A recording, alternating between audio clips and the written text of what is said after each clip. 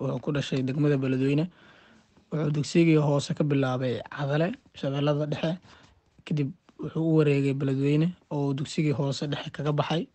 Kadib wuxuu ahaa xilligaas wixii ka dambeeyey nin ganacsade oo oo danihiisa gaarka kolley ka shaqeeya.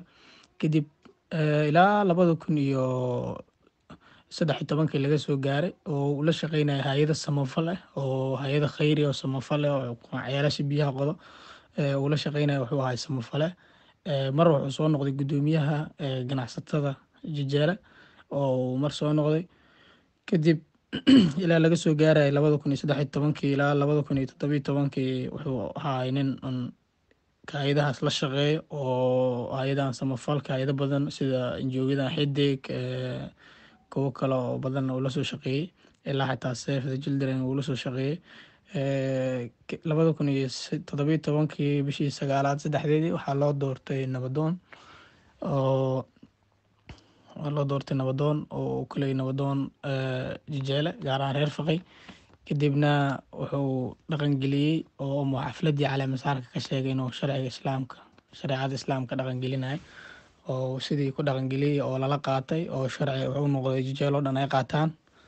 Oo intuu xilka hayana laba nin oo wax dishina ayagana kolley qisaas lagu fuliyey xilligaas wixii ka dambeeyeyna wax kale oo jijeelo isdilay aan aysan jirin. Marka sharciga wuxuu noqday kolley lagu kala badbaaday inuu sii jiri doonana aan rajeynaya insha allah intaas waxaa sii dheer kolley dhaqamadiisa wuxuu ahaa nin aada oo dad jecel oo nin gacantiisana laga nabadgala afkiisana laga nabadgala nin qusal badan oo bashaashe dadka la kaftamo.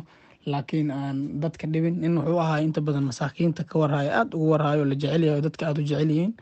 Oo dadka dhalinyartana saaxiib leh dadka waaweyne saaxiib leh. Nin wuxuu ahaa waxbarashada aada u jecel oo dadka inta badan waxbarashada ku guwaabiyo oo waxbarasho dad badan ka soo bixiyey oo dhihi jira waxbarta.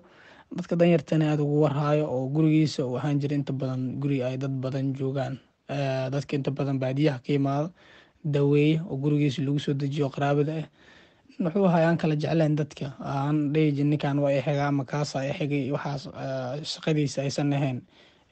Nin nacab xeshada nin wuxuu ahaay kulley dadkana nin walbana xaqiisa siiyo gartiisa siiyo walow walaalkiisba ha noqdo. Nin dulmiga nacab uu ahaay nin nabadda ka shaqeeya inta badan nabadaas uu ordi jiray oo nabadaas un ka shaqeyn jiray uu ahaay